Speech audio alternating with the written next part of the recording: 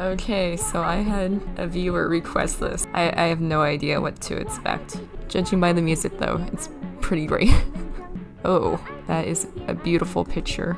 Is it gonna play this music the whole time? The year 1997, that was when I was born, has arrived. A herd of a herd of ugly reds are rushing from the mainlands. Hong Kong, which is one word, it's supposed to be two, but one, is ruined.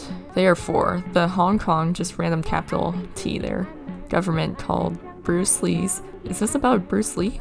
Is that Bruce Lee extremely pixelated? That guy just, he just looks sad.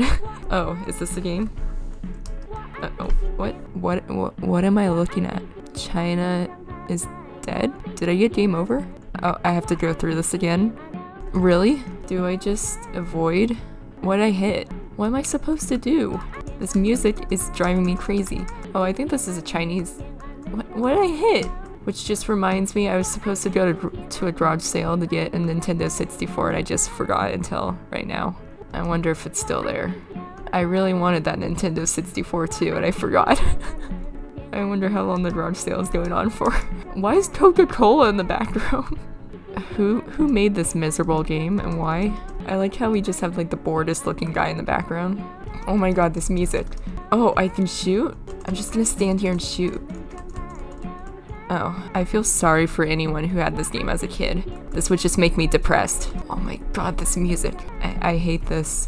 Why would anybody play this? Why would anybody make this? Look at this guy, he's, he looks like a sad grandpa. Whoever recommended this, you know who you are. Why? Why would you put me through this? For me to suffer? Probably. Oh my god. Thanks to you, I'm gonna be at work today with this stupid song stuck in my head. And people are gonna wonder why I'm so agitated. And I'm gonna be like, you don't wanna know. I wonder how much this game goes for on eBay. I would just give it away, I wouldn't even sell it. Screw that game. What are we doing next? So the next one was another viewer request. Um, it's Barbie for the NES. God, that's loud. So full disclosure, I actually did play this game before, but all my footage was accidentally deleted. So I'm playing it again. You're not missing much. For some reason this whole game, the enemies are sports. I don't know what Barbie has against sports, but apparently they're her enemies. Once again, I have no idea why someone would make this game, or why someone would play this game. There's really not much to say about this game. It's, it's just, it's boring, not fun, extremely annoying.